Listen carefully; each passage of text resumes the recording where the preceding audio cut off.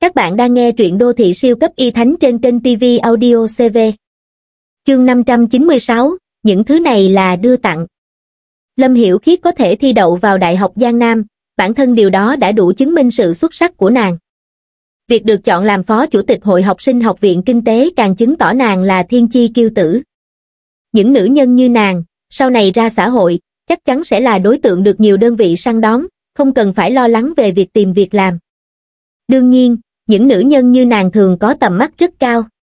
Chẳng hạn như gã răng hô này, gia đình hắn sở hữu một xưởng nhỏ, có tiền. Sau khi tốt nghiệp, hắn vào làm việc tại ngân hàng, bố mẹ hắn lập tức mua nhà, mua xe cho hắn. Một người như hắn, dù không quá đẹp trai, nhưng trong xã hội vẫn là đối tượng mà nhiều phụ nữ mơ ước kết hôn. Gã răng hô tự thấy bản thân rất tốt, dù ở trong trường học hay sau khi tốt nghiệp và vào làm việc tại ngân hàng, hắn vẫn kiên trì theo đuổi Lâm Hiểu Khiết, nhưng Lâm Hiểu Khiết lại chẳng hề để ý đến hắn. Ngoài gã răng hô, còn nhiều nam sinh ưu tú khác trong học viện cũng có ý định theo đuổi Lâm Hiểu Khiết. Thậm chí, cái gã, bàn ca, mà Lâm Hiểu Khiết nhắc tới trước đây, cũng có tình cảm với nàng, chỉ vì không thể có cả hai, nên hắn chọn theo đuổi từ yên nhiên. Nhưng suốt hai năm qua, đến năm ba đại học, Lâm Hiểu Khiết vẫn chưa chấp nhận bất kỳ lời theo đuổi nào. Vậy mà hiện tại, một sinh viên năm nhất của khoa sinh học tài nguyên, mới nhập học chưa được bao lâu đã theo đuổi nàng, hơn nữa, nhìn tình huống hiện tại, rõ ràng Lâm Hiểu Khiết cũng có ý với hắn. Điều này khiến mọi người trong phòng đều rất ngạc nhiên. Đương nhiên, sắc mặt gã răng hô cũng không khỏi trở nên khó coi. Thôi nào, ung phàm thuần, ngươi đang nói cái gì mà ngâm nước, cái gì viện hoa? Ngươi đang bậy bạ gì thế? Lâm Hiểu Khiết lườm gã thanh niên kia một cái. Khà khà, ta không nói bừa đâu.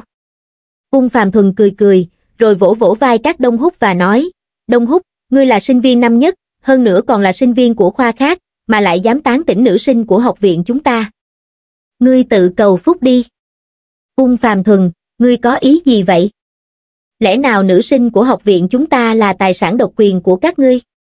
Lời của Ung Phạm Thuần lập tức khiến các cô gái trong phòng tức giận, mỗi người đều chống nạnh trợn mắt nói. Bởi vì những cô gái này đều đến từ học viện kinh tế a ta không có ý đó, ta không có ý đó. Ung Phàm Thuần thấy mình gây ra sự phẫn nộ của các cô gái, vội vàng cười làm lành. Khi Ung Phàm Thuần đang cười xòa, cửa phòng được nhẹ nhàng đẩy ra, một số người phục vụ mang theo đĩa thức ăn nhẹ, hoa quả và các món nguội vào. Có phải các ngươi đưa nhầm rồi không? Chúng ta hình như không gọi những món này. Hứa Vũ Mạc thấy vậy, hơi nhíu mày hỏi. Không có nhầm đâu, những thứ này là đưa tặng. Một trong những người phục vụ mỉm cười ngọt ngào với Vũ Mạc và nói. Vậy cảm ơn nhiều. Hứa Vũ Mạc nghe vậy, trên mặt lộ ra vẻ bất ngờ.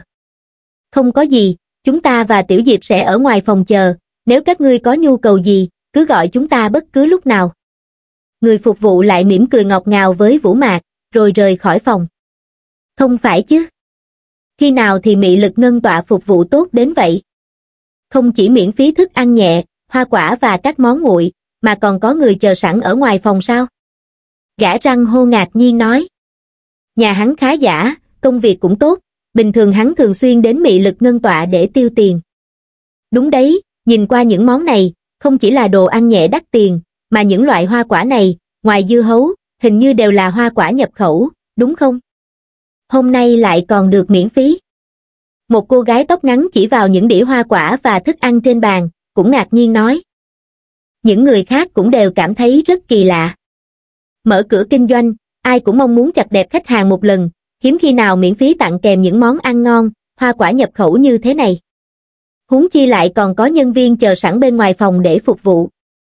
Điều này thật sự quá cao cấp. Ta nói này, hứa tổng, ngươi không phải là bạn thân của ông chủ mị lực ngân tọa đấy chứ? Gã răng hô hỏi. Ta nói Phan Thắng An, ngươi định làm ta xấu mặt phải không? Còn gọi là hứa tổng, lại còn nói ta là bạn của ông chủ mị lực ngân tọa. Ngươi làm việc trong ngân hàng, chẳng lẽ không biết mở một nơi như mị lực ngân tọa tốn bao nhiêu tiền sao? Ta vừa mới tốt nghiệp đại học, làm sao có thể kết bạn với họ được? Hứa vũ mạc lườm gã răng hô một cái và nói. Nhà nàng tuy cũng là chủ một công ty, nhưng chỉ là một công ty nhỏ, so với ông chủ của mị lực ngân tọa, đương nhiên kém xa. Phan Thắng An Nghe đến cái tên này, Khóe miệng các đông hút không khỏi nhếch lên một cái.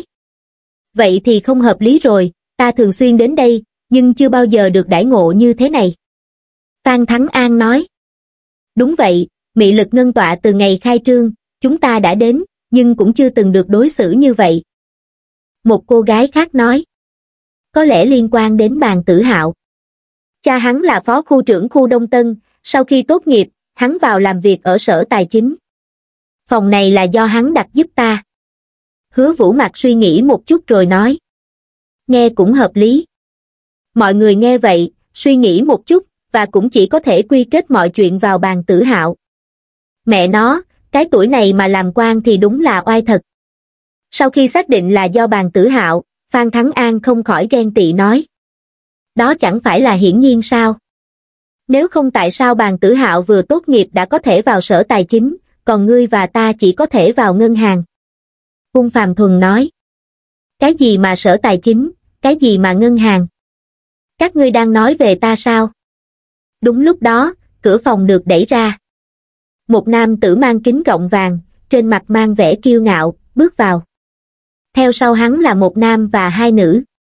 Không phải sao? Chúng ta đang khen ngợi ngươi lợi hại đấy. Sinh nhật hôm nay của ta cũng được hưởng lây ánh hào quang của ngươi. Hứa vũ mạc cười đón tiếp nói. Lời này là sao? Bàn tử hạo hơi ngạc nhiên, cười hỏi. Ngươi xem, bởi vì phòng này do ngươi đặt, nên mị lực ngân tọa tối nay mới miễn phí tặng cho chúng ta không ít đồ ăn vặt, hoa quả và các món nguội. Hứa Vũ Mạc giải thích. Đúng vậy, đúng vậy, bàn ca ngươi thật có mặt mũi. Hai cô gái trước đó đang hát, tướng ước 98, liền nhìn bàn tử hạo với vẻ sùng bái và nói. Trước đây, khi còn ở trường, mọi người đều là học sinh, tuy biết rằng bàn tử hạo có một ông bố làm phó khu trưởng, nhưng cũng không mấy để ý, tuy nhiên, từ khi tốt nghiệp và bước vào xã hội, họ mới thực sự nhận ra sự khác biệt này. Đặc biệt là việc mị lực ngân tọa chiêu đãi tối nay, càng làm họ cảm nhận sâu sắc hơn về điều này. Nghe vậy, trong lòng bàn tử hạo có chút nghi ngờ. Nếu ở khu Đông Tân, bất kỳ sàn giải trí nào hắn đến, các ông chủ đều muốn nể mặt hắn, con trai của phó khu trưởng khu Đông Tân. Nhưng khu vực Minh Nguyệt Hồ lại là trung tâm thành phố Lâm Châu, nơi đây có nhiều sàn giải trí lớn, ông chủ của những nơi này thường có bối cảnh mạnh mẽ. Một người như bàn tử hạo, con trai của một phó khu trưởng khu Đông Tân, khó có thể nhận được sự đãi ngộ đặc biệt như vậy ở đây. Tuy nhiên, chuyện quan trường thật khó nói trước. Biết đâu năm sau, cha của hắn được điều động đến khu Minh Nguyệt Hồ. Nếu ông chủ của mị lực ngân tọa là người biết trước thời thế, muốn lấy lòng hắn thì cũng không phải chuyện gì quá ngạc nhiên. Nghĩ đến đây, trên mặt bàn tử hạo không khỏi lộ ra vẻ đắc ý, nhưng bên ngoài vẫn giữ vẻ khiêm tốn, khoát tay cười nói, ha ha, chỉ là một ít đồ ăn vặt và hoa quả thôi, không có gì đáng kể đâu. Không chỉ có vậy đâu, bàn ca, ngươi không thấy bên ngoài còn có người chuyên đứng chờ đợi sao? Đãi ngộ thế này, chúng ta là dân thường thì làm sao hưởng được? Phan Thắng An nói, trên mặt mang theo nụ cười su nịnh. Ồ! Bàn tử hạo nghe vậy hơi ngạc nhiên, nhưng ngay lập tức nhớ lại trước đây không lâu khi hắn cùng mấy cậu công tử đến đây tiêu tiền, một trong số đó là con trai của phó khu trưởng thường trực khu Minh Nguyệt Hồ. Lần đó, để giữ thể diện cho đối phương, mị lực ngân tọa cũng đặc biệt cho người đứng ngoài chờ đợi. Không ngờ lần này, họ cũng làm như vậy để tiếp đón hắn. Nghĩ vậy, bàn tử hạo lại càng tự đắc hơn, cười ha hả khoát tay, mọi người đều là bạn học, đừng nói gì dân thường nữa, khách khí quá rồi.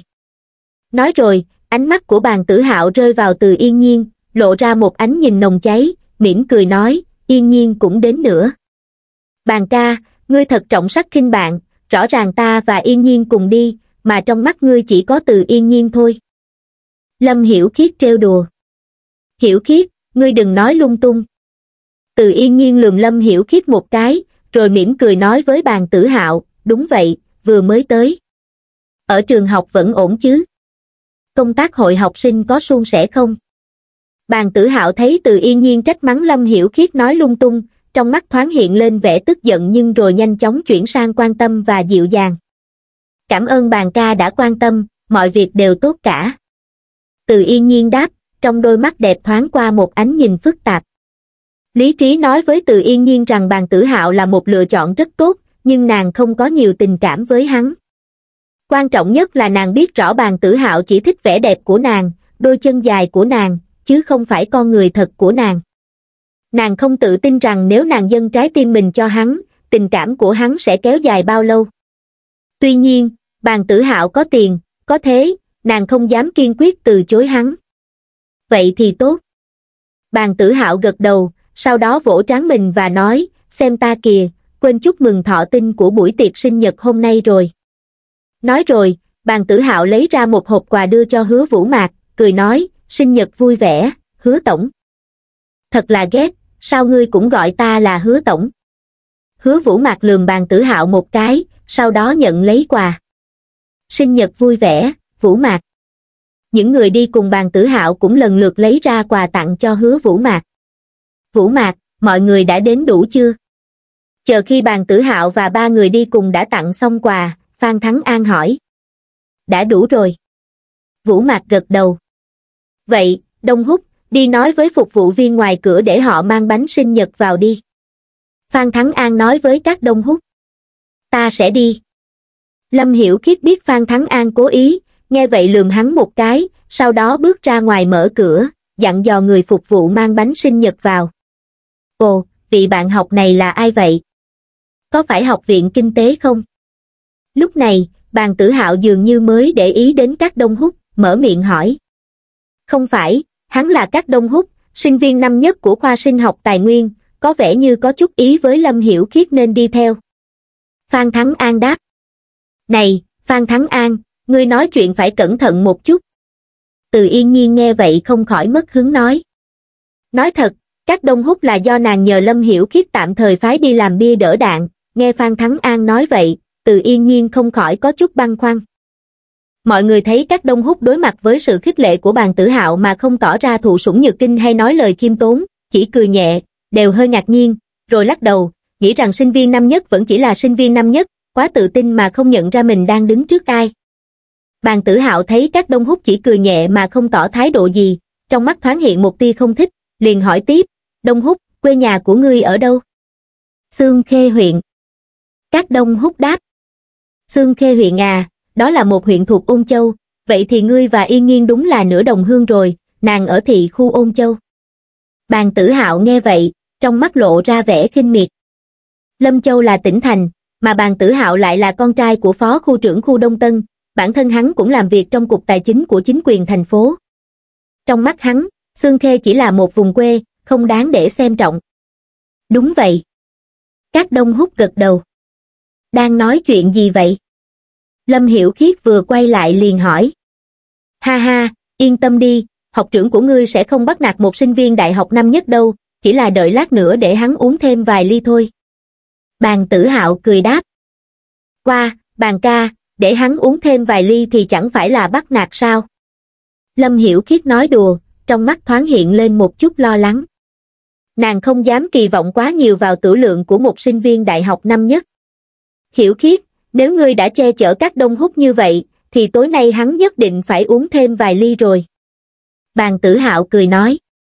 Đông hút, xem ra đêm nay ngươi phải uống nhiều rồi.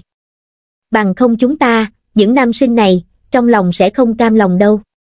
Nhớ lại năm đó, khi chúng ta còn ở trường, ngoài bàn ca ra, ai cũng từng thầm mến hoặc công khai thích Lâm Hiểu Khiết, nhưng nàng không bao giờ để ý đến chúng ta. Hiện tại, nàng lại che chở ngươi hết lòng, không được, đêm nay ngươi phải uống nhiều hơn. Các huynh đệ, các ngươi nói có phải không? Phan Thắng An lập tức thêm vào, không sợ thiên hạ bất loạn. Lâm hiểu khiết, lần này chúng ta có lẽ không giúp được ngươi rồi. Hứa vũ mạc cùng đám con gái cười nói, như thể không thể giúp được gì. Này, cái này, chỉ có từ yên nhiên lộ vẻ lo lắng, trong lòng cũng âm thầm trách Lâm Hiểu Khiết vì đã kéo các đông hút vào tình huống này bởi vì giữa nàng và các đông hút chỉ là quen biết sơ sơ, không thể coi là thân thiết. Nếu khiến hắn uống say, thì thật sự không tiện. Đó là chưa kể, nếu các đông hút từ chối uống nhiều hoặc thậm chí bỏ đi, thì sẽ đắc tội với bàn tử hạo, con trai của một phó khu trưởng. Thấy từ yên nhiên lộ vẻ lo lắng, bàn tử hạo lại càng khó chịu với các đông hút. Tuy nhiên, các đông hút lại thấy vui. Hắn đến đây là để giúp từ yên nhiên thoát khỏi tai họa, nếu lúc này từ yên nhiên cũng tỏ ra như vũ mạc và đám người kia, thì hắn thật sự chỉ là làm trò cười cho người khác. Không thành vấn đề. Hôm nay là sinh nhật của vũ mạc học tỷ, mọi người vui vẻ, tất nhiên là phải uống nhiều một chút. Các đông hút mỉm cười, ngắt lời từ yên nhiên trước khi nàng kịp nói thêm gì. Được. Tân sinh viên thật mạnh mẽ. Bàn tử hạo và đám người ầm ầm khen ngợi, trong mắt hiện lên một tia vui vẻ khi thấy người khác gặp khó khăn. Lâm Hiểu Khiết và Từ Yên Nhiên thì lại âm thầm lo lắng, nhưng lúc này cũng không tiện nói thêm gì. Dù sao, họ vẫn còn là sinh viên, trong khi bàn tử hạo và đám người kia đã bước vào xã hội, hơn nữa đều có chút thế lực.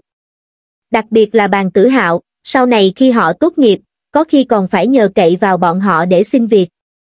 Khi bàn tử hạo và đám người đang ầm ầm khen ngợi, người phục vụ đẩy bánh gato vào phòng khách. Thấy bánh gato đã tới, sự chú ý tạm thời chuyển sang việc đốt nến, hát bài, sinh nhật vui vẻ, hứa vũ mạc ước nguyện, thổi nến, rồi cắt bánh gato chia cho mọi người.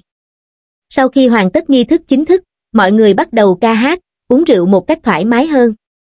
Tất nhiên, trước tiên, mọi người đều tránh không được phải kính chúc cho Vũ Mạc, thọ tinh của buổi tiệc sinh nhật. Sau đó, các nam sinh liền bắt đầu nhắm đến các đông hút. Đến đây, đông hút, vừa vào đại học, ngươi đã bắt đầu tiếp cận hoa khôi của học viện chúng ta. Nói một câu không phải, ngươi thực sự là hậu sinh khả quý. Hai chúng ta nhất định phải uống cạn một chai. Phan Thắng An, với đầy sự ghen tị, cầm một chi bia bách uy, khởi đầu cuộc tấn công về phía các đông hút. Này, Phan Thắng An, ngươi làm cái gì vậy? Mới bắt đầu thôi mà, sao lại uống như thế này được? Lâm Hiểu Khiết không khỏi lo lắng, đứng chắn trước mặt các đông hút, ưỡn ngực nói. Lâm Hiểu Khiết vừa ưỡn ngực, các đông hút mới nhận ra, mặc dù vóc dáng của Lâm Hiểu Khiết hơi thấp hơn từ yên nhiên, nhưng vòng một của nàng lại đầy đặn hơn, cao vút. Không phải chứ, Lâm Hiểu Khiết, chúng ta dù sao cũng là bạn học cùng viện, trước đây còn là đồng nghiệp trong hội học sinh, quen biết nhau cũng mấy năm rồi. Hắn chỉ là sinh viên năm nhất, mới vào trường chưa được bao lâu, mà ngươi lại che chở hắn như vậy, có phải là quên mất tình bạn cũ rồi không? Phan Thắng An thấy Lâm Hiểu Khiết che chở các đông hút như vậy, không khỏi ghen tị dữ dội, sắc mặt cũng thay đổi. Đúng rồi, đúng rồi, Lâm Hiểu Khiết, ngươi làm vậy thật sự khiến đám học trưởng chúng ta tổn thương. Cung Phàm Thuần và đám người phụ họa theo, ánh mắt nhìn các đông hút đầy vẻ khó chịu. Có câu nói, nước phù sa không chảy ruộng ngoài. Nếu Lâm Hiểu Khiết đáp lại tình cảm của bất kỳ ai trong số họ, họ cũng sẽ không cảm thấy bị tổn thương quá nhiều. Nhưng việc nàng lại đáp lại một sinh viên năm nhất của khoa khác khiến họ cảm thấy tự ái. Lâm Hiểu Khiết thấy ôn Phàm Thuần và đám người theo ồn ào, trong lòng vừa sốt ruột vừa hối hận. Nhưng lúc này, nàng không thể giải thích rằng các đông hút chỉ là bia đỡ đạn mà nàng tạm thời kéo đến. Nếu nói ra, thì sẽ triệt để đắc tội với Phan Thắng An và đám người kia. Không sao, không sao, mọi người vui vẻ là chính, chỉ là bia thôi mà, uống cạn một chai thì có gì đâu. Các đông hút không muốn Lâm Hiểu Khiết khó xử, liền đứng dậy cười kéo nàng sang một bên. Đúng rồi, chỉ là bia thôi mà, ở nước ngoài, người ta còn dùng như nước uống. Phan Thắng An và đám người hưởng ứng. Uống ít thôi, không được thì giả say. Lâm Hiểu Khiết thấy vậy, không thể tiếp tục ngăn cản, chỉ có thể thấp giọng dặn dò bên tai các đông hút. Khi nàng nói, cơ thể Lâm Hiểu Khiết sát lại gần các đông hút, bộ ngực đầy đặn áp vào cánh tay hắn, khiến Phan Thắng An và đám người kia giận đến suýt phun ra lửa. Mẹ nó! Thực sự là ai chịu nổi cũng không thể nhịn được. Đêm nay phải làm quá chén cái tên học sinh này. Các đông hút cười cười với Lâm Hiểu Khiết, sau đó cùng ly với Phan Thắng An và nói, Phan học trưởng, ta cạn trước kính ngươi. Nói rồi, các đông hút cầm chai bia lên, uống một hơi cạn sạch, không thở một cái, chỉ sau đó Phan Thắng An mới uống hết chai bia của mình. Nhanh ăn một chút gì đi. Thấy các đông hút thực hiện vai trò, bia đỡ đạn, một cách đầy trách nhiệm, Lâm Hiểu Khiết vừa đau lòng vừa bối rối, vội vàng cắm một miếng thịt bò khô bằng tâm và đưa vào miệng hắn. Cảnh tượng này khiến Phan Thắng An, người vừa khó khăn mới rót xong một chai bia vào bụng, suýt nữa không nhịn được muốn cầm thêm một chai nữa đổ thẳng vào miệng mình. Mẹ chứ! Thật sự quá đáng. Cảm ơn. Các đông hút thấy Lâm Hiểu khiết dám giữa mọi người mà cho hắn ăn thịt bò khô, nét mặt già nua của hắn cũng hơi đỏ lên, nhẹ giọng nói một câu. Nói cảm ơn ta gì chứ? Lâm Hiểu Khiết nhìn các đông hút với đôi mắt xinh đẹp. Nàng đâu biết rằng các đông hút chẳng phải là đồng chí, nếu không, dù có cảm kích hay băn khoăn trong lòng, nàng cũng không thể thực hiện cử chỉ thân mật như vừa rồi. Không chịu nổi, Lâm Hiểu Khiết, ngươi có ý định làm chúng ta ghen tị có phải không? Đông hút, chúng ta uống một chai nữa nào. Ung Phàm Thuần nói.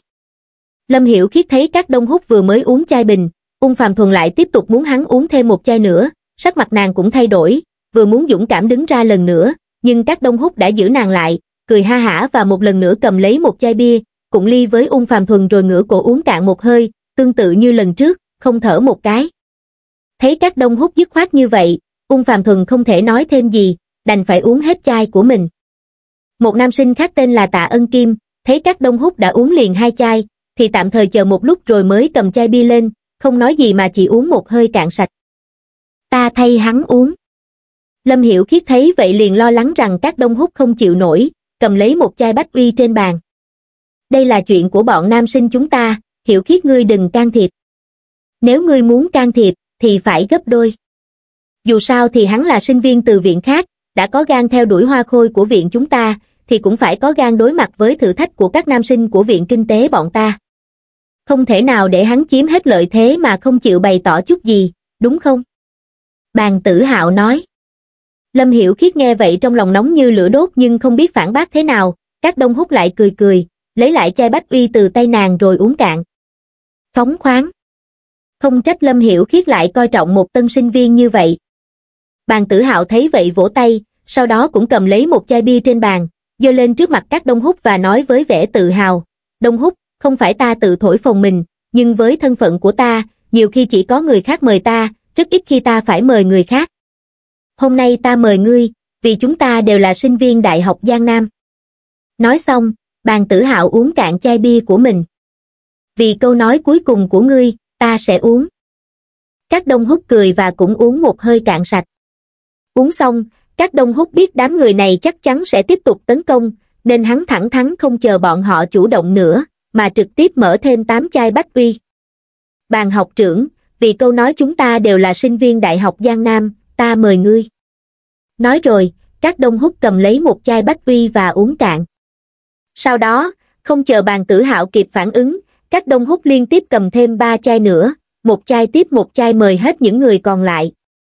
Thấy các đông hút uống một hơi cạn bốn chai liên tiếp mà không nghĩ, bàn tử hạo và đám người nhất thời trợn tròn mắt. Mẹ nó! Tên này chẳng lẽ nhà có xưởng bia sao? Các nữ sinh cũng đều tròn mắt ngạc nhiên. Không thể tin nổi, tên này đã uống liền bốn chai mà vẫn còn đủ sức để phản công, hơn nữa lại một lần bốn chai nữa. Đông hút, ngươi không sao chứ? Cuối cùng, Lâm Hiểu Khiết và Từ Yên Nhiên là hai người đầu tiên hồi phục tinh thần, vội vàng tiến lên quan tâm hỏi. Thấy Lâm Hiểu Khiết và Từ Yên Nhiên đều quan tâm vây quanh các đông hút, bàn tử hạo và đám người cảm thấy rất khó chịu, nhưng không thể nói ra được lời nào để chê bai. Một sinh viên năm nhất, chỉ vẫy tay một cái là uống cạn tám chai bia. Bọn họ còn có thể nói gì nữa đây? Dù gì thì họ cũng phải giữ chút thể diện chứ. Không sao. Chỉ là bia thôi mà. Các vị học trưởng, ta đã uống hết rồi, nếu các ngươi uống không nổi nữa thì ăn chút gì đó trước đi. Các đông hút nhẹ nhàng vẫy tay với Từ Yên Nhiên và Lâm Hiểu Khiết, rồi mỉm cười tử tế nhắc nhở bàn tử hạo và đám người kia. Con mẹ nó. Bàn tử hạo và đám người nghe vậy suýt nửa phun máu, mỗi người đều buồn bực uống cạn cốc của mình. Tỉnh Giang Nam nằm ở vùng duyên hải phía Nam, tửu lượng của người dân nơi đây thường không thể so với người phương Bắc. Bàn tử hạo và đám người là người tỉnh Giang Nam chính gốc, ngoại trừ Ung Phàm Thuần có tửu lượng khá hơn một chút, những người khác chỉ có thể gọi là tạm ổn. Như Phan Thắng An, tửu lượng của hắn không được tốt lắm, bình thường chỉ uống được hai chai bia 500ml là đã tới hạn mức. Hôm nay, dù là chai nhỏ, mỗi chai chỉ 330ml nhưng với tửu lượng của hắn, làm sao mà chống đỡ nổi việc uống liền hai chai. Chai thứ hai còn chưa uống hết, hắn đã cảm thấy trong bụng như có sóng dâng trào, một luồng chất lỏng dâng lên cổ họng. Phan Thắng An lập tức đặt chai bia xuống, bịt miệng lại và chạy nhanh ra ngoài. Các nữ sinh nhìn theo với ánh mắt ngỡ ngàng, còn bàn tử hạo và đám người thì ngơ ngác không nói nên lời. Thật mất mặt quá rồi. Bốn người đã tốt nghiệp mà chọn một sinh viên năm nhất để so tài, vậy mà mới bắt đầu, đã có người phải chạy thẳng vào nhà vệ sinh. Đừng chỉ mãi uống, hát đi, hát đi. Hứa vũ mạc thấy bàn tử hạo và đám người khó chịu, sau một lúc sững sờ, liền hét lên. Đúng vậy, đúng vậy, hát đi, bàn ca, ngươi muốn hát bài gì, ta sẽ chọn cho ngươi. Một nữ sinh khác phụ họa theo. Bàn tử hạo lúc này cũng thực sự cần hát để phát tiết chút phiền muộn trong lòng, liền chọn bài, mưa vẫn rơi, đang rất thịnh hành. Qua, không ngờ ngươi uống rượu giỏi như vậy, làm người ta lo lắng cả buổi. Bàn tử hạo đi hát rồi, mọi người ngồi xuống ghế salon thưởng thức, Lâm Hiểu Khiết ngồi sát bên các đông hút, ghé tai hắn thì thầm. Uống rượu không thành vấn đề, chỉ là có một người coi ta là tình địch, khiến ta cảm thấy khó chịu. Các đông hút nói. Xì. Lâm Hiểu Khiết nghe vậy liền cười, ánh mắt xinh đẹp liếc các đông hút đầy ẩn ý rồi nói, thực ra ngoại hình của ngươi cũng không tệ, vóc dáng cũng tốt, ngôn hành cử chỉ rất nam tính. Đáng tiếc là, nếu không thì ta cũng có thể suy nghĩ về ngươi. Thôi, ngươi tuyệt đối đừng suy nghĩ, ta không hợp với ngươi. Các đông hút nghe vậy liền sợ hết hồn, vội vàng khoát tay từ chối. Nhìn ngươi sợ hãi đến vậy, ta biết rồi. Lâm Hiểu Khiết thấy bộ dạng, hoảng hốt, của các đông hút, càng khẳng định suy nghĩ của nàng rằng hắn có vấn đề về giới tính, ánh mắt xinh đẹp lườm hắn một cái, trong lòng thì âm thầm tiếc nuối. Một nam sinh tốt biết bao, sao lại không thích con gái cơ chứ? Đông hút, ngươi vừa uống nhiều bia như vậy, không sao chứ? Từ yên nhiên không biết từ lúc nào đã ngồi xuống bên cạnh các đông hút, nhẹ giọng hỏi. Yên tâm đi, dù là tám bình rượu đế cũng không thành vấn đề. Các đông hút cười trấn an. Ngươi giỏi thật, nhưng giỏi nhất là cái miệng. Đợi lát nữa kiềm chế một chút, đừng uống như thế nữa. Từ yên nhiên nghe vậy liền nhìn các đông hút với vẻ tức giận. Nàng tự nhiên không tin rằng các đông hút có thể uống 8 bình rượu đế 330ml, đứng trên sân khấu hát, bàn tử hạo thấy từ yên nhiên cũng chen vào ngồi cạnh các đông hút, hơn nữa còn vừa nói vừa cười với hắn một cách thân mật, khiến lòng hắn không khỏi cảm thấy khó chịu. Hát xong một bài, hắn liền ngừng hát, ngồi xuống sát bên từ yên nhiên, với tư thế của một học trưởng, thỉnh thoảng hỏi han ân cần. Từ yên nhiên có vẻ hơi căng thẳng và không tự nhiên, bàn tử hạo hỏi một câu nàng liền trả lời một câu, hoàn toàn không có sự thoải mái, thân mật như lúc nàng nói chuyện với các đông hút. Điều này khiến bàn tử hạo càng ngày càng khó chịu. Tuy nhiên, bàn tử hạo là người rất biết kiềm chế, nếu không, năm đó ở trong trường học, hắn cũng không thể trở thành cán bộ hội học sinh của Học viện Kinh tế. Vì vậy, hắn không phát tác tại chỗ, chỉ thỉnh thoảng kể một vài chuyện trong chính quyền thành phố, hoặc nói về các lãnh đạo trong thành phố, để tạo cảm giác rằng mình rất thân quen với các lãnh đạo cấp cao. Những lời này, khi lọt vào tai của người từng trải như các đông hút lại có vẻ ấu trĩ và buồn cười. Nhưng đối với những người khác trong phòng, điều đó lại khiến họ cảm thấy bàn tử hạo rất trâu bò, ánh mắt họ nhìn hắn đều không khỏi lộ ra sự kính nể và sùng bái. Bàn tử hạo rất thích thú với ánh mắt này, trên mặt không khỏi lộ ra vẻ đắc ý, từ yên nhiên, lâm hiểu khiết, sau này nếu các ngươi có hoạt động của hội học sinh cần phải kéo tài trợ từ các doanh nghiệp, cứ đến tìm ta. Ta có thể giúp các ngươi giới thiệu, có rất nhiều doanh nghiệp sẽ nể mặt ta một chút.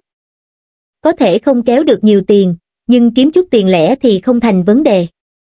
Bàn tử hạo nói, ánh mắt vô tình hay cố ý liếc nhìn các đông hút. Yên nhiên, hiểu khiết, các ngươi nghe thấy chưa, còn không mau kính rượu bàn ca đi. Khi ta làm chủ tịch hội sinh viên, bàn ca không tích cực như vậy đâu, đúng là các ngươi có mặt mũi lớn. Hứa Vũ Mạc cười nói. Bàn tử hạo không phủ nhận, mà chỉ nhìn từ Yên Nhiên và Lâm Hiểu Khiết với ánh mắt có thâm ý khác. Từ Yên Nhiên và Lâm Hiểu Khiết thấy vậy, liền cầm cốc bia mời bàn tử hạo. Thấy hai hoa khôi của học viện cùng nâng cốc mời mình, lòng bàn tử hạo mới cảm thấy thoải mái hơn, khi uống bia trên mặt cũng lộ ra vẻ đắc ý rạng rỡ. Các đông hút đương nhiên không quan tâm đến những chuyện này, hắn vốn không có ý tưởng gì với từ yên nhiên và lâm hiểu khiết. Đông hút, ngươi không hát, nhưng cũng đừng chỉ ngồi yên hưởng thụ, nên mời bia các vị học tỷ đang ngồi đây. Ta nói cho ngươi biết, những học tỷ này năm đó ở học viện kinh tế chúng ta, đều là nữ trung hào kiệt. Bây giờ khi ra ngoài xã hội, ai cũng rất lợi hại. Hứa tổng thì không cần nói, tự mình làm ông chủ. Còn Trần Mang, bây giờ làm ở Cục Tài chính khu Minh Nguyệt Hồ, Tô Hiểu Phân hiện tại đang làm ở Ngân hàng Công Thương, sau khi ngươi tốt nghiệp, tìm việc làm có khi còn phải nhờ họ giúp đỡ. Bàn tử hạo nói. Đúng rồi, Đông Húc, Chúng ta là chị em tốt của Lâm Hiểu Khiết, nếu ngươi không làm chúng ta hài lòng, cẩn thận chúng ta không cho Lâm Hiểu Khiết kết bạn với ngươi. Hứa Vũ Mạc và những người khác cười nói. Các đông húc cười cười, rất hào sản cầm cốc bia lên mời từng người. Một vòng uống bia, ngoại trừ từ Yên Nhiên và Lâm Hiểu Khiết, hắn đã uống thêm bốn chai nữa, nhưng các đông hút vẫn tỏ ra bình thường, trong khi một vài nữ sinh khác đã bắt đầu có khuôn mặt ửng đỏ. Lần này, những người trong phòng không khỏi tò mò về tử lượng của các đông hút. Khi phụ nữ đã nổi lên lòng hiếu kỳ, họ tuyệt đối không dễ dàng từ bỏ. Liền sau đó, không cần bàn tử hạo khơi mào, một số phụ nữ trong phòng đã chủ động mời các đông hút. Phụ nữ mời bia, tất nhiên không giống như bàn tử hạo và đám người kia, họ không cần sĩ diện, thường chỉ uống một nửa ly rồi tìm cớ để các đông hút uống hết. Các đông hút vốn không phải là người thích so đo với phụ nữ, hơn nữa đây chỉ là bia, nên hắn cũng chẳng thèm tính toán. Cứ thế, mọi người cùng nhau uống bia, có người lên hát, không khí trong phòng rất náo nhiệt. Bất tri bất giác, các đông hút vẫn giữ được vẻ bình thản, trong khi các nữ sinh, bao gồm cả Lâm Hiểu Khiết và Từ Yên Nhiên, bắt đầu uống hơi quá. Không lâu sau, Vũ Mạc, người uống nhiều nhất trong đám nữ sinh, cuối cùng không chịu nổi nữa, chỉ vào các đông hút cười mắng, ngươi đúng là tên biến thái. Nói rồi nàng vội vàng chạy ra ngoài, không còn cách nào khác, uống nhiều bia như vậy, bàn quan không chịu nổi. Ngươi đúng là tên biến thái. Chờ ta, ta cũng đi. Ngươi đúng là tên biến thái. Ta nữa. Mấy nữ sinh khác thấy Vũ Mạc dẫn đầu chạy vào phòng vệ sinh, cũng lần lượt đứng dậy đi theo, nhưng không quên cười mắng các đông hút một câu. Ngay cả từ Yên Nhiên và Lâm Hiểu Khiết cũng không ngoại lệ. Nhìn đám nữ sinh lũ lượt ra khỏi phòng, bàn tử hạo và đám nam nhân nhìn nhau, nhưng cuối cùng không ai dám đứng ra khiêu khích các đông hút thêm nữa. Không còn cách nào khác, tên này đúng là biến thái thật. Ta nói này, Lâm Hiểu Khiết, chẳng lẽ nhà bạn trai của ngươi có xưởng sản xuất bia? Thật sự quá biến thái. Trên đường đến phòng vệ sinh, Vũ Mạc ôm bụng hỏi. Vũ Mạc tỷ, bọn ta còn chưa chính thức đâu. Ta làm sao biết được chi tiết thế? Lâm Hiểu Khiết trả lời. Thôi đi, đã mang đến giới thiệu với bọn ta rồi, còn nói chưa chính thức, ngươi thật là lừa người quá đáng. Trần Mang cười kinh thường. Thật sự chưa chính thức, ta có gì phải giấu giếm các ngươi chứ? Lâm Hiểu Khiết nói. a ta hiểu rồi, ngươi lo sợ Phan Thắng An cứ cuốn lấy ngươi, nên cố ý mang một người đến để tránh né. Tô Hiểu Phân chợt hiểu ra. Là như vậy à Hiểu Khiết. Nếu thật như vậy, cũng không tốt lắm đâu. Thực ra, ngoài việc tướng mạo hơi bình thường một chút, các điều kiện khác của Phan Thắng An cũng không tệ. Vũ Mạc nghe vậy nói. Dù thế nào ta cũng không để ý đến hắn. Lâm Hiểu Khiết đáp. Mặc dù Lâm Hiểu Khiết không trả lời trực tiếp về chuyện bia đỡ đạn, nhưng mọi người đều hiểu ra, liền lắc đầu, chỉ nàng mà nói, xem như lần này bị ngươi chơi khăm rồi. Sớm biết hắn là hàng giả, bọn ta đã không so tử lượng với một cao thủ như hắn. Cười nói xong, Vũ Mạc và đám người bước vào phòng vệ sinh.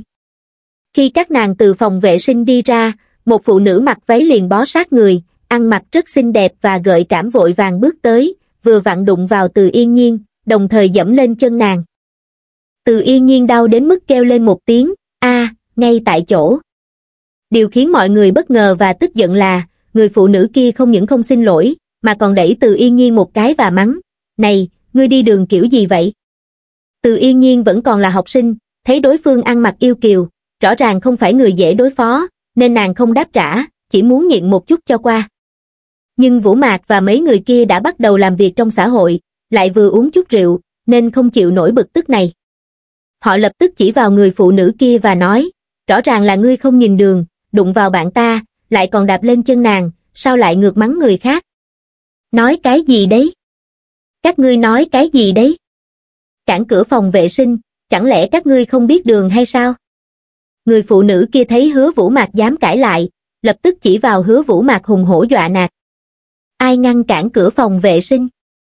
Chẳng lẽ chúng ta không được phép ra ngoài sao? Hứa vũ mạc giận dữ đáp lại. Lão nương nói các ngươi cản là các ngươi cản. Người phụ nữ kia không thèm giải thích, liền đẩy mạnh hứa vũ mạc.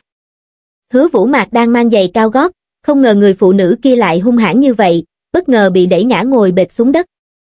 Lúc này, không chỉ Trần Mang và đám người kia, mà ngay cả từ Yên Nhiên và Lâm Hiểu Khiết, hai nữ sinh viên vẫn còn đi học, cũng phẫn nộ. Từ Yên Nhiên đứng bên cạnh, cơn giận bùng lên, không do dự nữa mà đẩy mạnh người phụ nữ kia. Người phụ nữ kia cũng đang mang giày cao gót, không giữ được thăng bằng, hét lên một tiếng rồi cũng ngã ngồi xuống đất. Yên nhiên, đẩy hay lắm. Trần Mang và đám người kêu lên tán thưởng, một bên đỡ hứa Vũ Mạc dậy, quan tâm hỏi, Vũ Mạc tỷ, ngươi có sao không? Không sao cả. Hứa Vũ Mạc lắc đầu. Không sao. Các ngươi đánh lão nương mà còn muốn không sao? Không có cửa đâu. Người phụ nữ kia từ dưới đất bò dậy, tức đến nổ phổi, chỉ tay vào hứa Vũ Mạc và đám người. Hứa Vũ Mạc đám người nghe thấy vậy thì càng giận dữ, nhưng từ Yên Nhiên và Lâm Hiểu Khiết vẫn là học sinh, vừa rồi vì cơn giận mà dám động thủ, nhưng bây giờ lại lo lắng, liền kéo hứa Vũ Mạc lại và nói, quên đi Vũ Mạc tỷ. Hứa Vũ Mạc và đám người kia đều là sinh viên tài giỏi tốt nghiệp từ Đại học Giang Nam, vẫn có một chút tu dưỡng, nghe vậy cuối cùng cũng đành oán hận trừ người phụ nữ kia một cái rồi bỏ đi. Tốt, ta nhớ kỹ các ngươi. Đợi lát nữa các ngươi sẽ biết tay. Người phụ nữ kia thấy hứa Vũ Mạc đám người đông hơn, không dám đuổi theo, chỉ đứng ở cửa phòng vệ sinh, nhìn theo đám người tiến vào phòng khách 808, hậm hực nói rồi vội vàng vào phòng vệ sinh. Làm sao vậy? Sao ai cũng có vẻ mặt tức giận như thế? Bàn tử hạo kỳ quái hỏi khi thấy hứa vũ mạc và đám người trở vào với sắc mặt không tốt. Ở cửa phòng vệ sinh gặp một mụ phụ nữ cực phẩm. Đụng vào yên nhiên còn mắng chửi, thậm chí đẩy vũ mạc ngã xuống đất. Trần mang đáp. Mẹ nó, còn có chuyện như vậy thế sao các ngươi không đánh con tiện nhân kia? Phan Thắng An hét lên. Yên nhiên và hiểu khiết sợ gây phiền toái, nên chỉ đẩy lại lại nàng một cái khiến nàng ngã xuống đất thôi. Hứa Vũ Mạc giải thích. Bàn ca ở đây, có gì phải sợ chứ? Đánh nàng ta luôn đi. Phan Thắng An khinh thường nói. Đúng vậy, có bàn ca ở đây, sợ gì chứ? Cung Phàm Thuần và đám người phụ họa. Không nên nói như vậy nhưng chúng ta không gây chuyện trước, nếu người khác chủ động gây chuyện, cũng không cần phải sợ, dù sao cha ta cũng là phó khu trưởng. Bàn tử hạo nói, đến đoạn cuối giọng lộ ra vẻ kiêu ngạo. Các đông hút nghe cuộc đối thoại của bọn họ, đã hiểu được tai họa mà vốn dĩ sẽ xảy ra với từ yên nhiên. Tuy nhiên, hiện tại có hắn ở đây, kết quả chắc chắn sẽ khác. Bàn ca nói đúng, đây là đạo lý, người không phạm ta, ta không phạm người, người nếu phạm ta, ta sẽ không tha. Ung Phàm Thuần và đám người đồng tình. Hình Ngọc, có chuyện gì vậy? Trong một căn phòng khách sang trọng, một người đàn ông trẻ tuổi mặc bộ quần áo thường hiệu Armani, đeo đồng hồ Vacheron Constantin, ôm vòng eo của một phụ nữ quyến rũ, cao mày hỏi. Trần Thiếu, vừa rồi khi đi phòng vệ sinh, ta bị mấy người phụ nữ khi dễ. Hồ Hinh Ngọc rưng rưng nói. Biết phòng khách nào không? Người trẻ tuổi nghe vậy liền cau mày phòng 808. Hồ Hinh Ngọc trả lời. Phòng 808. Người trẻ tuổi nhếch miệng cười khinh thường, sau đó đưa tay nắm chặt mông của Hồ Hinh Ngọc, nói, được rồi, đừng khóc nữa, để ta dẫn ngươi đi lấy lại danh dự. Mẹ kiếp, là cái quái gì mà dám bắt nạt người của ta? Chỉ có Trần Thiếu tốt với ta. Tối nay Hinh Ngọc nhất định sẽ cố gắng biểu hiện. Hồ Hinh Ngọc nghe vậy không khỏi nín khóc mỉm cười, thân mật dựa vào Trần Thiếu, thì thầm bên tai hắn. Khà khà. Trần Thiếu cười gian, tay lại tiếp tục vỗ mông nàng. Ngươi thật hư, Trần Thiếu. Hồ Hinh Ngọc nhẹ nhàng đánh hắn một cái. Ha ha. Trần Thiếu đắc ý cười lớn. Chỉ là khách hàng của phòng thường thôi, đâu cần Trần Thiếu tự mình ra mặt. Để ta đem bọn họ đến đây. Một người đàn ông trung niên, bên cạnh đang ôm hai phụ nữ, đứng dậy nói. Mị lực ngân tọa có vài phòng khách được trang bị rất xa hoa, với thiết bị âm thanh cao cấp và người phục vụ chuyên nghiệp. Những phòng này chỉ dành cho những khách hàng có thân phận cao. Những phòng khách này đều có tên gọi rất sang trọng, như Chí Tôn, Đế Vương, Thái Tử, vân vân. Còn các phòng khách bình thường thì chỉ được đặt tên theo số. Phòng khách mà Trần Thiếu hiện tại đang ở là Thái Tử Thính, mặc dù không phải là phòng cao cấp nhất, nhưng so với các phòng bình thường thì đẳng cấp cao hơn hẳn dù sao thì nhàn rỗi cũng chán, đi dạo một chút cũng tốt. Trần Thiếu nói. Người đàn ông trung niên nghe vậy cười cười, không nói gì thêm. Trần Thiếu ôm vòng eo của Hồ Hinh Ngọc ra khỏi phòng thái tử, người đàn ông trung niên theo sau, sau lưng hắn còn có bốn người đàn ông to lớn, vẻ mặt lạnh lùng. Xin hỏi các ngươi, người phục vụ đứng trước cửa phòng khách thấy Trần Thiếu và đám người đến, liền bước lên hỏi. Tuy nhiên, trước khi người phục vụ kịp nói hết câu, một trong những người đàn ông to lớn đã bước lên, đẩy mạnh cô ra, rồi đạp mạnh cửa phòng khách. Cửa phòng vừa mở, bên trong lập tức trở nên yên tĩnh, ngoại trừ các đông hút, những người khác đều chưa kịp phản ứng. Dù sao, họ đều là những sinh viên tốt nghiệp từ Đại học Giang Nam, không quen với những tình huống như thế này. Hinh Ngọc, mấy người phụ nữ nào đã khi dễ ngươi? Trần Thiếu ôm Hồ Hinh Ngọc bước vào, ánh mắt ngạo mạn lướt qua mọi người trong phòng. Khi ánh mắt hắn dừng lại trên Từ Yên Nhiên và Lâm Hiểu Khiết, mắt hắn không khỏi sáng lên. Là mấy người phụ nữ này, tiện nhân đã đẩy ta là cô ta. Hồ Hinh Ngọc chỉ vào từng người, cuối cùng dừng lại ở Từ Yên Nhiên. Nếu vậy, các ngươi tự phạt ba chai bia, còn cô ta đi theo ta. Trần Thiếu chỉ vào Từ Yên Nhiên và nói. Thấy Trần Thiếu khí thế hùng hổ, khẩu khí ngạo mạn, trước khi Từ Yên Nhiên và đám người kịp phản ứng, Phan Thắng An và đám người đã không dám lên tiếng, chỉ đưa mắt nhìn về phía bàn tử hạo. Bọn họ không ngu, biết rằng người trước mặt có chút lai lịch, và có lẽ chỉ có bàn tử hạo là người có thể ra mặt. Không biết vị tiên sinh này tên gọi là gì? Khẩu khí có phải là quá lớn rồi không? Bàn tử hạo cau mày đứng lên nói. Ngươi là ai? Xem ra cũng phải có chút lai lịch đây. Trần Thiếu hiếp mắt nhìn bàn tử hạo, trên mặt không hề che giấu chút nào vẻ châm chọc và kinh thường. Ta là bàn tử hạo, cha ta là bàn Trung Hải, phó khu trưởng của khu Đông Tân. Chuyện vừa rồi có lẽ là một hiểu lầm, ta nghĩ tốt nhất nên dừng lại ở đây. Bàn tử hạo nói, giọng điệu không hề cứng rắn, mà ngược lại còn mang theo chút ý tứ nhún nhường.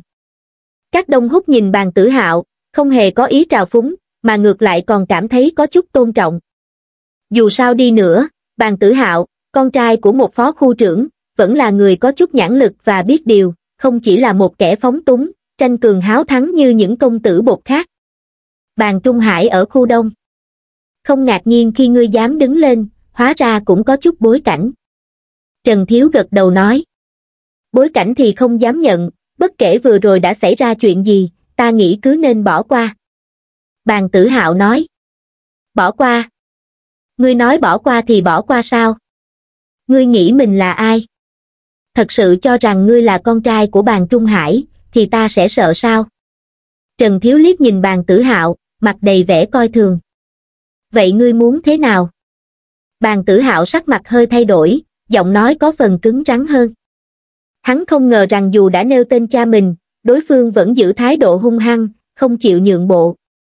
Muốn thế nào? Không phải ta đã nói rồi sao?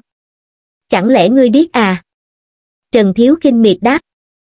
Chính là, chỉ là con trai của một phó khu trưởng ở khu đông mà cũng dám đứng trước mặt Trần Thiếu nói chuyện, cha ngươi tự đến đây còn tạm được. Hồ Hinh Ngọc bên cạnh cười dễu cợt. Trần Thiếu. Bàn tử hạo sắc mặt biến đổi, bật thốt lên, ngươi là người nhà họ Trần. Không hổ là con trai phó khu trưởng, ngươi vẫn có chút kiến thức. Không sai, ta là Trần Long Hữu, ta nghĩ ngươi biết phải làm gì rồi chứ. Trần Thiếu nói, vẻ mặt cao cao tại thượng.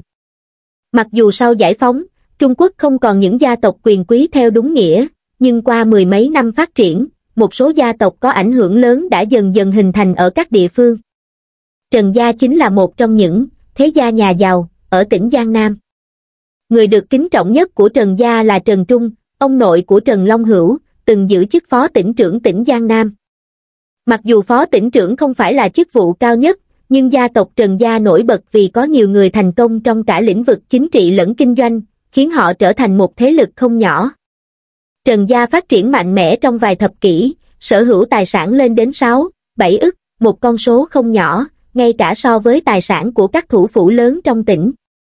Một gia tộc như vậy, đừng nói chỉ là một phó khu trưởng ở khu đông, ngay cả nếu là khu trưởng cũng phải kiên dè khi đối đầu với Trần Gia.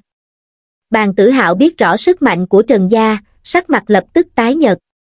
Hắn hiểu rằng Trần Gia không phải là thế lực mà một phó khu trưởng nhỏ bé như cha hắn có thể đối phó được. Sau một hồi im lặng, bàn tử hạo cắn răng nói, uống rượu xin lỗi có thể, nhưng cô ấy là cán bộ của hội sinh viên Đại học Giang Nam, Trần Thiếu, ngài không thể dẫn cô ấy đi. Bàn tử hạo cố ý nhấn mạnh thân phận của Từ Yên Nhiên như một cán bộ của hội sinh viên Đại học Giang Nam, vì biết rằng mặc dù trong xã hội, hội sinh viên không có quyền lực gì, nhưng nó vẫn có vị trí đặc biệt. Đại học Giang Nam thì đã sao? Có gì ghê gớm? Hồ Hinh Ngọc kinh thường đáp.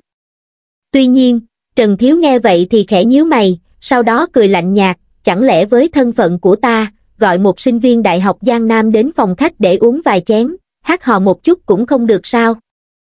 Các đông hút vốn không muốn ra mặt, muốn để bàn tử hạo xử lý mọi chuyện, nhưng tình hình đã đi quá xa. Hắn không thể tiếp tục giữ vai trò của một sinh viên năm nhất nữa, liền đứng dậy nói, có ta ở đây thì không được. Ta không cần biết ngươi là Trần Thiếu hay Dương Thiếu, tất cả đều cút đi, đừng quấy rầy nhã hứng của chúng ta. Câu nói của các đông hút làm mọi người trong phòng đều sững sờ. Bàn tử hạo và đám người sợ hãi đến mức suýt chút nữa hồn lìa khỏi xác. Tình huống đã trở nên quá phức tạp, không ai ngờ một sinh viên năm nhất lại có thể thốt ra những lời như vậy, không biết sống chết. Đông hút Lâm Hiểu Khiết và Từ Yên Nhiên vội vàng kéo tay các đông hút, không để hắn tiếp tục nói những lời nguy hiểm. Mẹ kiếp! Ngươi là ai mà dám nói vậy? Trần Thiếu chỉ tay vào các đông hút và mắng. Ngươi không đủ tư cách biết ta là ai, nếu không muốn liên lụy đến Trần Gia, thì nhân lúc ta còn chưa nổi giận, mau chóng cút đi. Các đông hút lạnh nhạt đáp. Nhảy con. Đánh hắn, đánh thật mạnh. Mẹ nó, cái quái gì mà dám hung hăng trước mặt ta. Trần Thiếu nghe các đông hút nói còn hung hăng hơn mình, liền tức giận đến bốc hỏa. Bốn người hộ vệ nghe lệnh, lập tức lộ ra ánh mắt hung ác, chuẩn bị xông vào đánh các đông hút. Con mẹ nó! Các ngươi định làm gì? Tạo phản sao? Vừa lúc đó, một người đàn ông trung niên đầu bóng loáng dẫn theo vài người khác xông vào, vừa đi vừa quát lớn. Trong số đó, có một người mà các đông hút nhận ra, chính là Lan Ca. Các đông hút thấy Lan Ca, kẻ từng bị chỉnh đốn ở quán đồ nướng bên bờ sông, cũng đến, trong lòng khẽ động, sau đó bình thản ngồi lại ghế sofa. Ta làm gì? Ta còn muốn hỏi ngươi làm gì đấy, Vương Cường. Sao thế, mấy năm nay kiếm được nhiều tiền, cánh đã cứng rồi à? Không thấy Trần Thiếu ở đây sao? Người đàn ông trung niên đứng cạnh Trần Thiếu quát lên, không phải Trần Thiếu, mà là Dương Hào, một trong những đại lão thế lực ngầm ở Lâm Châu. Cường Trọc nghe thấy Dương Hào nói, trong lòng không khỏi kêu khổ. Là người làm trong ngành giải trí, họ sợ nhất là cảnh sát và xã hội đen. Cảnh sát đến kiểm tra thường xuyên thì việc kinh doanh chắc chắn gặp khó khăn, còn xã hội đen đến gây sự thì cũng không thể làm ăn yên ổn. Dương Hào chính là một trong những đại lão thế lực ngầm ở Lâm Châu. Nhưng khi ánh mắt cường trọc dừng lại ở Trần Long Hữu, sắc mặt hắn càng trở nên khó coi. Trần Long Hữu thực chất chỉ là một công tử bột, một kẻ như hắn trong gia tộc thường không được coi trọng. Theo lý thuyết, cường trọc không phải không dám động đến hắn. Nhưng vấn đề là, dù Trần Long Hữu có lối sống phóng túng, hắn lại rất giỏi trong việc đầu tư, giúp gia tộc kiếm lời lớn từ nhiều dự án, vì vậy, địa vị của hắn trong gia tộc rất đặc biệt. Những rắc rối hắn gây ra, gia tộc đều đứng ra giải quyết. Đụng đến Trần Long Hữu cũng chẳng khác nào đụng đến cả Trần Gia. Nếu như chỉ là Dương Hào, Cường Trọc tuy có kiên kỵ trong lòng, nhưng cũng sẽ không quá lo lắng. Bởi vì phía sau các đông hút là từ lũy của quốc an cục tỉnh Giang Nam, một quan chức quyền lực, mà dù Dương Hào có lợi hại đến đâu, cuối cùng cũng chỉ là một tay xã hội đen. Khi xã hội đen đấu với quan chức, đặc biệt là với quốc an cục, thì kết quả tất yếu chỉ là tìm đến cái chết. Nhưng Trần Gia lại khác. Trần Gia là một thế lực lớn tại tỉnh Giang Nam, có quyền thế sâu rộng trong cả hai giới chính trị và kinh doanh. Họ là những kẻ có gốc rễ sâu xa, ảnh hưởng lớn mạnh và mối quan hệ chằng chịt. Dương Hào dù là một đại lão trong giới ngầm, cũng chỉ là một tay sai, một người đại diện cho thế lực ngầm của Trần Gia mà thôi. Không có Trần Gia hậu thuẫn, Dương Hào chẳng qua chỉ là một tên lưu manh.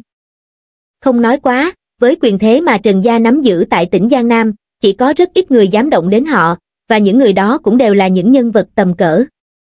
Những nhân vật này tất nhiên không bao gồm từ lũy. Dù từ lũy có quyền thế, nhưng vẫn chưa đạt đến mức có thể đối đầu với Trần Gia. Dĩ nhiên, các đông hút có thân phận cao hơn từ lũy rất nhiều, điều này Cường Trọc biết rõ. Nhưng cụ thể là cao bao nhiêu, và liệu có đủ để đối đầu với Trần Gia hay không, hắn không rõ. Đặc biệt, các đông hút lại còn trẻ như vậy, điều này càng khiến Cường Trọc cảm thấy không chắc chắn. Tuy nhiên, người Trần gia này cũng không phải nhân vật quan trọng trong gia tộc, mà chỉ là những người thuộc thế hệ thứ ba. Cường Trọc, dù sao cũng là một trong những nhân vật hàng đầu trong giới ngầm của thành phố Lâm Châu, với các sàn giải trí trải rộng khắp nơi, nên dù trong lòng keo khổ, hắn cũng không đến mức quá sợ hãi khi đối mặt với thế hệ thứ ba của Trần Gia. Hóa ra là Trần Thiếu và Dương Tổng. Mọi người ra ngoài là để vui vẻ, có gì cần thì ngồi xuống nói chuyện, hà tất phải làm ầm lên như vậy. Các ngươi nói có đúng không? Trong thời gian ngắn ngủi, Cường Trọc đã suy nghĩ nhiều, cuối cùng quyết định lựa chọn đứng giữa, làm người hòa giải. Tuy nhiên, trong giọng nói của hắn, không khó để nhận ra, hắn vẫn nghiêng về phía các đông hút. Dù sao, đây chỉ là thế hệ thứ ba của Trần Gia, không phải là những nhân vật chính yếu, còn các đông hút lại là người mà từ lũy từng vì mà rút súng bảo vệ. Dĩ nhiên, Cường Trọc cũng không biết rằng, lần trước từ lũy rút súng không phải là tình cờ mà là đã chuẩn bị sẵn để bảo vệ các đông hút, nếu biết điều này, Cường Trọc chắc chắn sẽ không cần phải suy nghĩ thêm gì nữa. Được rồi, nể mặt ngươi, Vương Tổng, ta có thể ngồi xuống nói chuyện với vị sinh viên tài năng của Đại học Giang Nam này. Chắc chắn sẽ không làm khó ngươi. Nhưng tên kia, ta thực sự không ưa nổi, ngươi đừng cản trở, bằng không, đừng trách ta trở mặt không quen biết. Trần Thiếu nói. Vương Cường nghe vậy, sắc mặt trở nên khó coi, trầm giọng nói, Trần Thiếu không nể mặt Vương Cường ta sao? Nếu Trần Thiếu đã nhắm vào các đông hút, thì Vương Cường không thể đứng giữa nữa. Cuối cùng, Vương Cường quyết định đứng về phía các đông hút. Vương Cường, ngươi nghĩ sao? Ngươi có muốn tiếp tục mở cửa kinh doanh ở đây không? Trần Thiếu và Dương Hào nghe vậy, sắc mặt đều thay đổi. Họ không ngờ rằng Vương Cường lại dám đứng về phía một tên vô danh tiểu tốt. Trần Long Hữu, Vương Cường ta từ hai bàn tay trắng tạo dựng cơ đồ này, khi đó ngươi vẫn còn đang chơi trong vườn trẻ. Nếu muốn nói chuyện với ta, hãy để cha ngươi đến, ngươi còn chưa đủ tư cách. Vương Cường nói với vẻ mặt kiêu ngạo. Tốt lắm, Vương Cường, chúng ta hãy chờ xem. Trần Thiếu và Dương Hào nhìn Vương Cường với thái độ cứng rắn, cuối cùng mặt mày xám xịt, buông một câu đe dọa rồi chuẩn bị rời đi. Vương Cường là một trong những nhân vật hàng đầu trong giới ngầm ở thành phố Lâm Châu, với các sàn giải trí trải rộng khắp nơi, dù không có bối cảnh mạnh mẽ nhưng cũng có mối quan hệ rộng rãi và tài sản lớn. Một khi Vương Cường tỏ thái độ cứng rắn, với thân phận của Trần Long Hữu, hắn không đủ tư cách để đối đầu trực diện. Ta đã cho các ngươi đi chưa? Ngay khi Trần Thiếu và Dương Hào không cam lòng xoay người rời đi, một giọng nói không nhanh không chậm vang lên. Bỗng nhiên, toàn bộ phòng khách trở nên yên tĩnh, bàn tử hạo và đám người nhìn các đông hút với ánh mắt ngạc nhiên, như thể đang nhìn một kẻ điên. Ngươi điên rồi sao, đông hút? Lâm Hiểu Khiết kéo cánh tay của các đông hút, trợn mắt nói. Đông hút, ngươi im miệng đi, ngươi nghĩ mình là ai? Đây không phải là nơi ngươi có thể nói chuyện. Phan Thắng An, vốn đã không ưa các đông hút, không ngần ngại khiển trách. Dưới cái nhìn của hắn, đêm nay có thể yên ổn là nhờ Vương Cường nể mặt bàn tử hạo ra tay giúp đỡ, nếu không các đông hút đã bị đánh đến mức mẹ hắn cũng không nhận ra. Không ngờ, tên này lại không biết tự lượng sức mình, còn dám nói ra những lời hống hách như vậy. Vương Tổng, ngươi cũng thấy đấy. Là hắn tự mình muốn chuốc họa vào thân, nếu ngươi còn cản trở, đó chính là đối đầu với Trần Gia. Ngươi biết đấy, cha ta rất trọng sĩ diện. Trần Thiếu xoay người, mặt lạnh lùng và giọng nói đầy đe dọa. Vương Cường không để ý đến Trần Thiếu và Dương Hào, mà là vẻ mặt buồn bã nhìn các đông hút. Ta nói các đại gia, ngươi có thể đừng chơi người như vậy không? Ngươi đang muốn ép ta đối đầu trực diện với Trần Gia sao? Các đông hút cũng không để ý đến Lâm Hiểu Khiết và Phan Thắng An, mà vẫn thản nhiên ngồi trên ghế sofa, lạnh nhạt nhìn Vương Cường, nói, Vương Tổng, Trần Gia trọng sĩ diện, chúng ta cũng trọng sĩ diện. Vừa rồi Trần Thiếu và đám người của hắn đạp cửa xông vào, còn uy hiếp các học tỷ của ta phải tự phạt ba chén, thậm chí muốn mang học tỷ của ta đi, để nói chuyện, nhân sinh. Ngươi nói xem, đã đến mức này rồi, nếu để bọn họ vênh váo rời đi, thì mặt mũi của chúng ta để ở đâu? Nói thì đúng, nhưng mà, Vương Cường vẽ mặt đầy khổ sở nói. Nhìn thấy Vương Cường không chỉ không mắng các đông hút, mà còn mang vẻ mặt lo lắng nói chuyện, bàn tử hạo và đám người ngỡ ngàng, như thể họ vừa gặp ma. Đến lúc này, họ mới nhận ra rằng sinh viên năm nhất các đông hút không hề đơn giản như họ tưởng. Họ cũng hiểu rằng việc trước đó được đối đãi đặc biệt không phải vì bàn tử hạo, mà là vì các đông hút. Không có gì để mà, nhưng... Bọn họ là gì? Muốn đạp cửa thì đạp cửa, muốn mắng người thì mắng người, muốn uy hiếp thì uy hiếp, muốn dẫn người đi thì dẫn đi. Nhưng Vương Tổng, ngươi là chủ nhân ở đây, ta cảm ơn ngươi đã kịp thời tới giải quyết chuyện này, và cũng nể mặt ngươi. Vậy thì thế này, bọn họ chỉ cần cúi đầu xin lỗi các học tỷ của ta, tự phạt ba chén rồi cút đi. Ta chỉ cho họ một cơ hội này thôi, nếu họ chấp nhận, chuyện này sẽ kết thúc tại đây, nếu không, ha ha. Ngươi đúng là không biết sợ hãi. Trần Thiếu tức giận đến mức không kiềm chế được, giơ chân lên định đạp vào máy phát nhạc trước mặt các đông hút. Trần Long Hữu đang tức giận đến mức không kiềm chế được, liền giơ chân lên định đá thẳng vào máy phát nhạc trước mặt các đông hút. Ngay lúc đó, Vương Cường, với ánh mắt sắc bén, nhanh chóng bước lên trước, nhẹ nhàng nhưng mạnh mẽ bắt lấy chân của Trần Long Hữu và đẩy xuống đất với một cú chụp mạnh. Đùng! Một tiếng vang lớn, Trần Long Hữu mất thăng bằng, chân bị ép mạnh xuống, rơi mạnh trở lại mặt đất. Mẹ kiếp, Vương Cường! Ngươi điên rồi sao? Dương Hào và những người khác xung quanh đều biến sắc mặt, không ngờ Vương Cường lại dám hành động như vậy. Hắn không điên, người điên chính là bọn ngươi. Các đông hút, thấy mọi chuyện dần leo thang, không thể không lên tiếng. Ta đã nói rồi, chỉ cho một cơ hội này, nhưng các ngươi không muốn chấp nhận. Hiện tại, các ngươi có thể đi. Lời nói của các đông hút khiến cả Vương Cường lẫn Trần Long Hữu và Dương Hào đều khựng lại, tỏ ra ngạc nhiên. Cái gì? Đi sao? Ngươi nghĩ mình là ai mà có thể ra lệnh như vậy? Ngươi bảo đi là đi sao? Trần Long Hữu, không chấp nhận bị hạ nhục, tiếp tục nổi giận và hét lên với Dương Hào, Dương ca, gọi điện thoại gọi người đến đây. Con mẹ nó, hôm nay ai cũng đừng mong ngăn lão tử, người nào cản trở lão tử, lão tử sẽ đánh người đó. Vương Cường thấy Dương Hào bắt đầu gọi điện thoại gọi người, sắc mặt càng trở nên nghiêm trọng. Hắn bước tới gần các đông hút, thấp giọng hỏi, các tiên sinh, giờ chúng ta nên làm gì? Tình hình đã trở nên căng thẳng, việc đối đầu với Dương Hào và Trần Gia chắc chắn sẽ không dễ dàng. Vương Cường hiểu rằng hy vọng duy nhất hiện tại chỉ có thể là các đông hút, nếu không, hắn khó có thể chống lại thế lực hùng mạnh như Trần Gia. Người này, Dương Hào, là ai? Hắn định gọi ai đến? Các đông hút không trả lời trực tiếp mà hỏi lại. Dương Hào là một trong những đại lão của thế lực ngầm ở thành phố, đứng đầu nhiều quán bar và sòng bạc. Hắn cũng kinh doanh ngân hàng tư nhân bất hợp pháp và thường xuyên dính vào các hoạt động phi pháp, Vương Cường giải thích, ánh mắt đầy lo lắng. Các đông hút nghe vậy, trong lòng có chút ngạc nhiên về sự hiểu biết của Vương Cường về Dương Hào, nhưng cũng không thể hiện ra mặt, chỉ nhẹ giọng hỏi tiếp, nếu hắn tệ như vậy, tại sao cục công an không bắt hắn? Vương Cường nghe câu hỏi này, trong lòng không khỏi kêu khổ. Hắn không biết các đông hút là ai, nhưng cách hỏi này thật quá ngây thơ. Hắn có Trần Gia chống lưng. Trần Gia ở Lâm Châu thành phố là một thế lực mạnh mẽ, đang xen chằng chịt các mối quan hệ. Trần Long Hữu còn có một người thúc thúc là Trần Gia Nghiêm, phó thị trưởng của thành phố Lâm Châu. Dương Hào rất cẩn thận trong các hoạt động phi pháp của mình, nếu có vấn đề gì, luôn có người đứng ra gánh tội thay. Ngay cả cục công an cũng không dễ động đến hắn, vì động vào Dương Hào cũng là động vào Trần Gia, Vương Cường giải thích, rõ ràng đang lo lắng.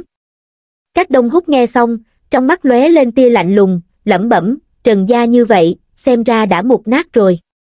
Bình thường, việc xử lý những vụ này thuộc về cơ quan tư pháp của thành phố, không phải là công việc của các đông hút. Nhưng hôm nay, khi chuyện đã đến mức này, và với thái độ của Trần Long Hữu và Dương Hào, các đông hút cảm thấy mình cần phải hành động.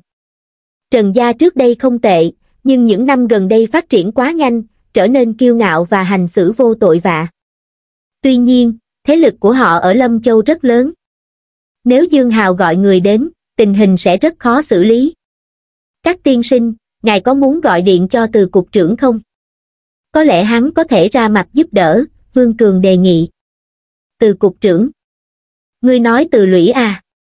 Chuyện này không thích hợp để hắn ra mặt, hắn không quan tâm đến những việc nhỏ như vậy, các đông hút nói, giọng đầy thâm ý khi nhìn Vương Cường. Rõ ràng, các đông hút nhận ra rằng Vương Cường cũng là một người trong giới kỳ môn. Vương Cường nghe thấy vậy, trong lòng càng thêm lo lắng. Hắn có thể nghĩ tới từ lũy, nhưng nếu không phải là từ lũy, thì ai có thể đối đầu với Trần Gia đây? Chẳng lẽ là cục công an thành phố? nhưng điều này chắc chắn không khả thi. Nếu thấy hay thì nhớ like và đăng ký kênh để ủng hộ mình nha.